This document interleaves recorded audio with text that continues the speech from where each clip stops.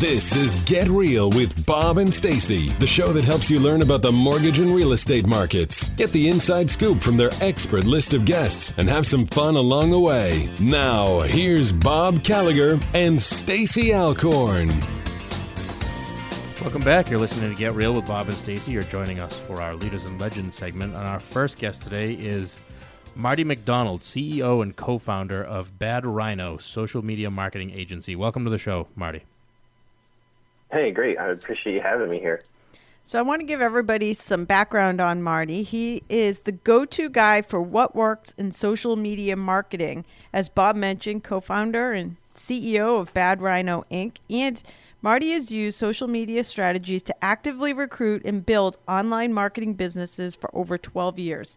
He knows how to harness the power of social media and has consulted with small businesses and startups to help them use that power to get off the ground.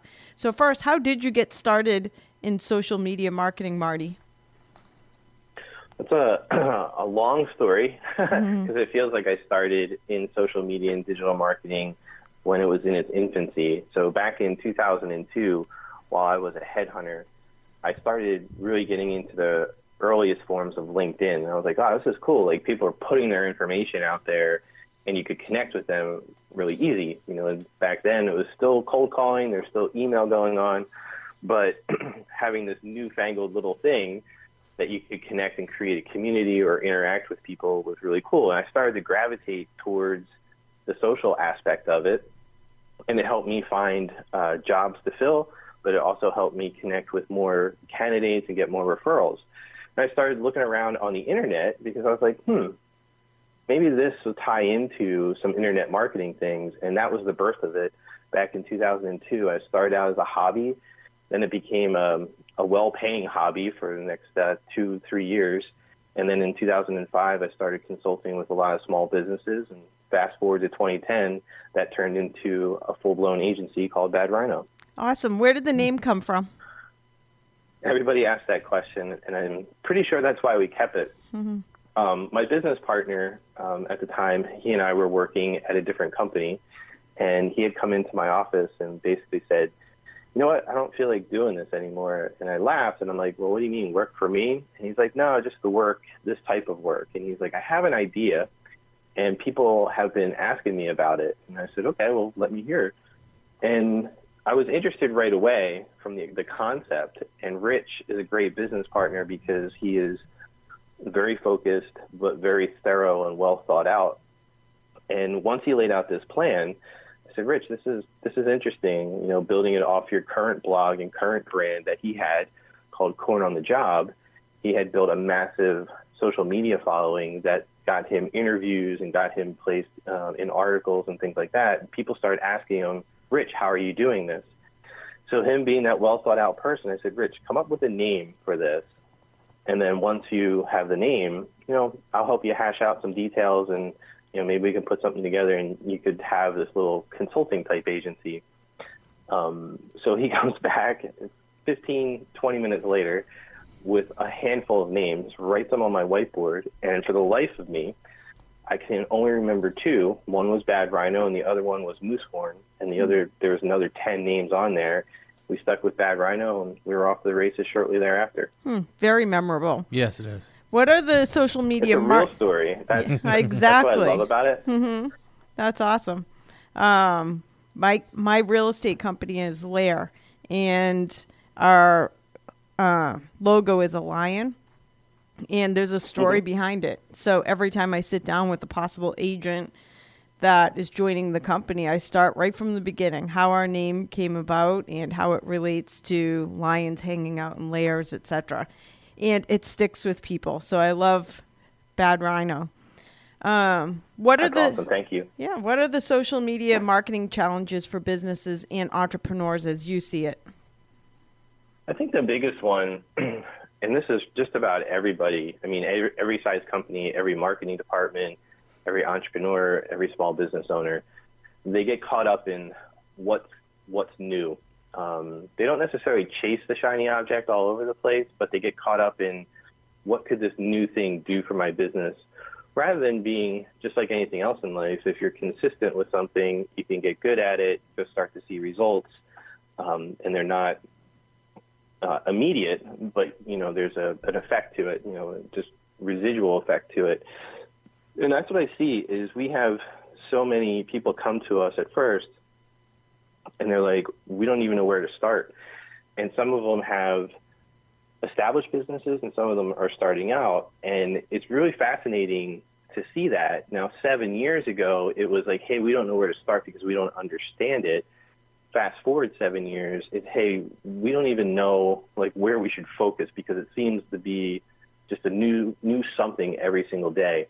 That's the biggest challenge. And what I tell everybody to overcome that challenge is wherever your market is and whoever the people who you are that you sell to, that's where you want to be. You know, I hear people like, well, we want to start an Instagram, you know, page. That's fine um, go ahead. But do you have anybody there that you think would you know take a look at your service? Mm-hmm. No, we actually think they're on LinkedIn or Facebook. We'll start there and get good at one, and then move on to the next ones because they can all tie together in some way. Right. Hmm. So, how can a business leverage their social media? Um, the biggest part is to communicate with current customers first. Um, mm-hmm. and then the second phase of it would be to acquire new customers. So the best way to do it is to inform them and entertain them. Let's just take something simple, um, like a restaurant. You know, it's very simple idea. Let's just say you serve breakfast, lunch, and dinner, and your main focus is on dinner. Is you have a, a great wine collection. So instead of inundating everybody with just wine, since you're known for it, what you want to do is maybe just put things that pair well with the wine, educate the consumer why they might come in there, what makes it a little bit different, but also share wine news and food news just for that general area. That sounds simple, and most people go, well, that seems like a waste of time.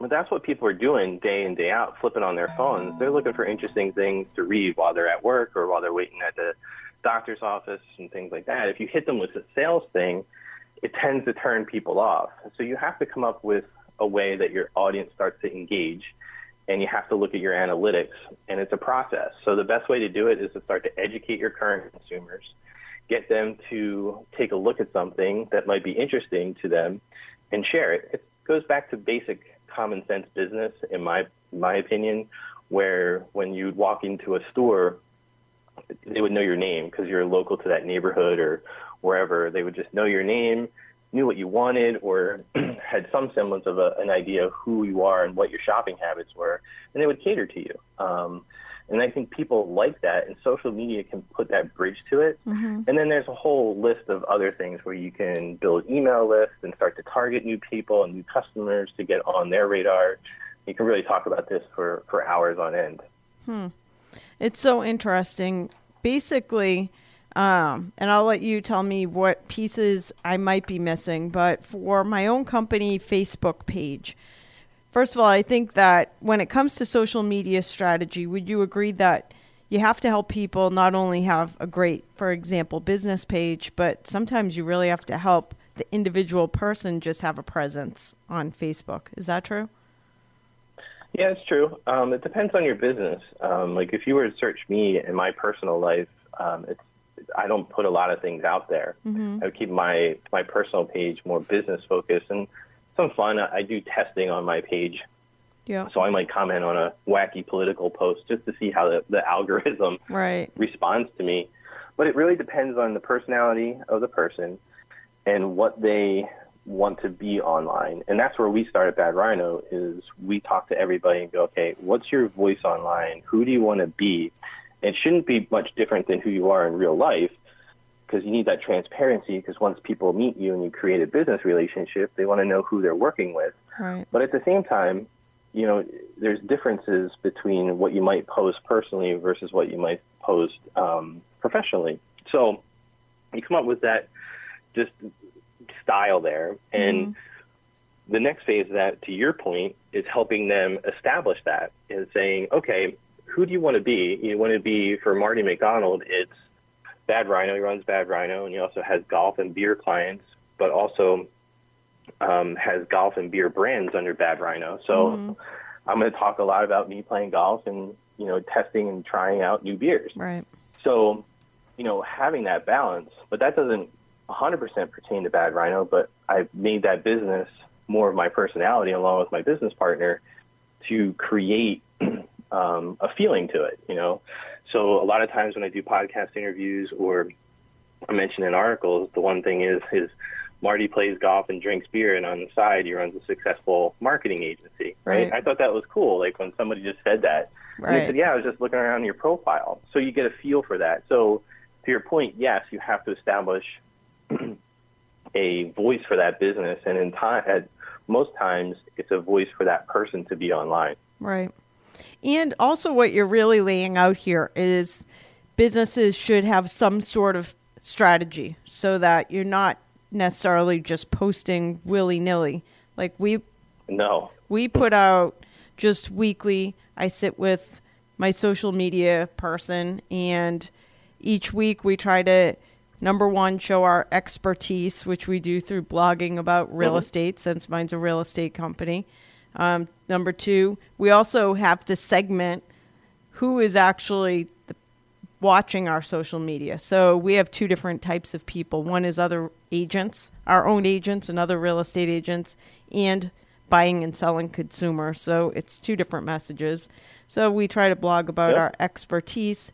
We try to motivate motivational quotes, JPEG motivational Yep. quotes get shared like crazy.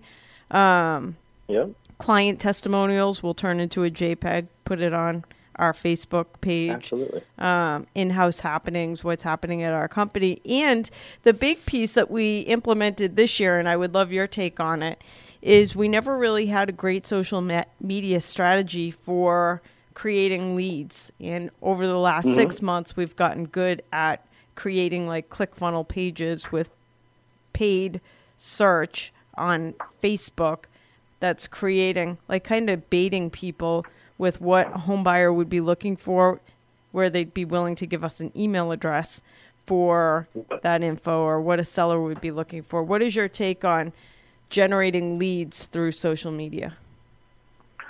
Um, yeah, first of all, it's great. Um, just back up for one second. I'll get to the leads. What you just outlined for anybody listening to it is the start of any social media, actually any marketing strategy when you're developing content. And if you can get, we tell everybody uh, when we speak at you know Chamber of Commerce or small business startup type meetings for ideas, is start off with a weekly content. You know, because sometimes it can be a little overwhelming. Just start off weekly schedule a couple posts, schedule a couple things, and then see how they, you know, the community responds, and then start to map that out month quarterly, and you know, you get a robust strategy, and you can start to see, you know, is coming back to seeing like, hey, the motivational quotes were shared, you know, so why don't we combine a motivational quote picture with a blog article Right. and see you know see what the differences are and see if that gets shared more than if we just post the blog. In terms of leads, it's tremendous. Um, it can be. You know, you have to be willing to you know break a few eggs to Right. kind of get that omelet going. Right. um, people get frustrated a lot of times when they run Facebook ads. Um, and it used to, I wouldn't say it was ever simple, but it was very simple and easy um, a few years ago when the ad platform was just maturing. But because you, they would default to giving you the results that you want. Right. And what I mean by that is if you said, hey, 30 miles around Philadelphia that were interested in real estate, they would show it to everybody in real estate. Right. So now it's like I want to have realtor leads. Let's just say you're an insurance agent, and now you have to get down to a granular level where it's like specifically say, hey, I'm working in real estate and I'm a realtor and I work at these companies, and you can target, which is great. Um, but it takes a little bit of time to get that targeting down, and sometimes people burn through money not knowing what they're doing, and they get frustrated with it and um, we hear that quite often. But I love it for leads and emails, and you really have to just dial it in and make sure you're getting adequate. Um, first off, adequate response. Second, make sure they're legit. And what I mean by that is when you start emailing them, start to look at your open rates. Yes. We've had a lot of people come through and talk with us, and they say, "This is great. You know, we built a 4,000 person email list through Facebook ads." But we're looking to take it next level, so we're looking to outsource some things, and we're talking to Bad Rhino. And I get all excited because I'm like, wow, that was awesome. They built an email list already on their own, so they kind of mm-hmm. know what's going on. And I find out, like, well, how many times have you emailed the list? Well, we haven't emailed it yet. and it's like, Right. okay, how do you even know if that data that you just Right. got was any good? So Absolutely. it's important to get the leads and then start emailing right away so that, say you get leads on Sunday, you could wait, they opt in, they get something to download, so they have an instant, that's Right. number one. Then number two, um, you want to email that list on a weekly basis just to see who's opening it, Right. number one. Number two, um, if anybody's clicking through. And then more importantly, number three, if they leave. Sometimes people will see like a PDF um, or like a little video series and they get it and then they just leave because they're like, this is what I was looking for, but Yep. I want to go with somebody else for the service. So it's important to get the leads, but also engage with them immediately. But Facebook's great for lead generation these days. Hmm. That's awesome. And I think it's all about tweaking. Like you just gave me an awesome idea. Constantly. Yeah, like taking the Well, those um, motivational quotes, embedding them into the articles, so that we're. I bet it will increase the number of shares on those expert blog pieces. So that's awesome. Well, tons of great stuff. For anybody that's listening, by the way, we have Marty McDonald from Bad Rhino, a marketing and social media company. Where can people find you? Uh, you can simply go to badrhinoinc.com. Um, we have a blog on there with a lot of great information. And every interview I do, uh, this has been a good thing and a bad thing, but it's been more good than bad. I just give out my email. Uh, if you send me an email, mention that you heard me on this radio show, um, I will gladly respond to that question as fast as I can. And it's Marty, M A R T Y, at badrhinoinc.com. And our website has all our other information, so check it out. Awesome. Thank you so much for your time today, Marty. Thanks, Marty. Uh, thank you. Great to talk to you guys. I appreciate it.